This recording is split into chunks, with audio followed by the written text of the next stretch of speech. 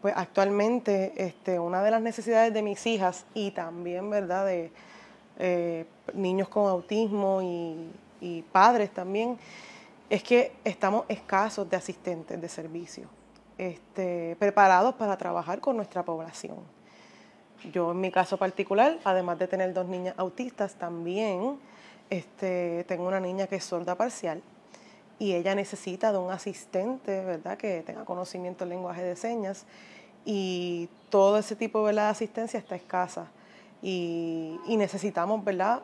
Más personas este, preparadas para ayudarnos, ¿verdad? A organizar y dirigir a nuestros hijos.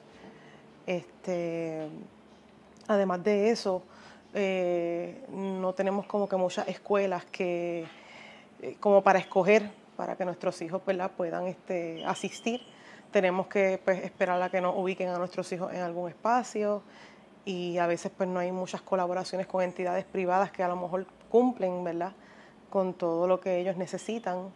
Y es una situación ¿verdad? Que, nos causa mucha incertidumbre, el, no saber eh, dónde vamos a ubicar a nuestros hijos, qué será del futuro de nuestros hijos.